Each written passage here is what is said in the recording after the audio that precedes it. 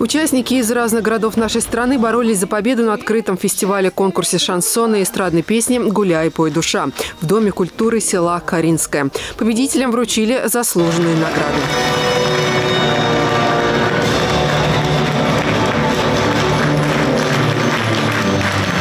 Сегодня наши победители разделят эту сцену с профессиональными артистами и мастерами жанра.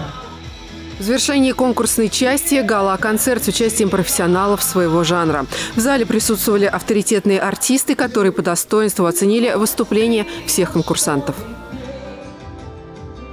Мне очень понравилось сегодня э, выступление конкурсантов по одной причине. Это искренность, это ощущение и желание э, понравиться. И несмотря на то, что это конкуренция, здоровая конкуренция, все вместе, по очереди, кто-то лучше выступил, кто-то хуже выступил. Но вот эта общая энергетика братства, ключа вот этого э, фестивального, она ощущается. Ольга Дмитриева, телекомпания «Одинцова».